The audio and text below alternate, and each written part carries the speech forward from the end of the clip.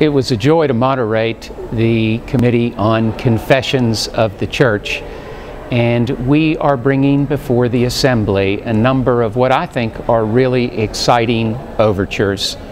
First and foremost is a call to the Church to engage in a three year study of the Book of Confessions in preparation for the 2016 Portland Assembly when the whole Book of Confessions will celebrate its 50th anniversary. And I can't think of a better way for the church to spend its time than to affirm this overture.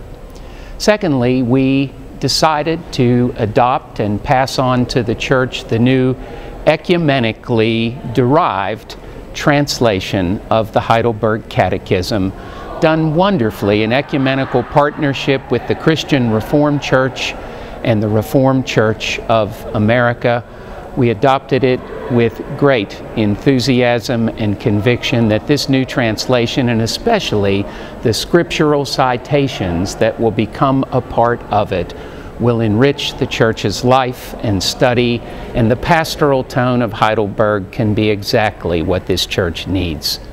Uh, finally, we decided to begin once again the process of considering the Belhar Confession, uh, written in 1985, emerging out of South Africa and proclaiming the unity of the church which is established always and ever in Jesus Christ alone.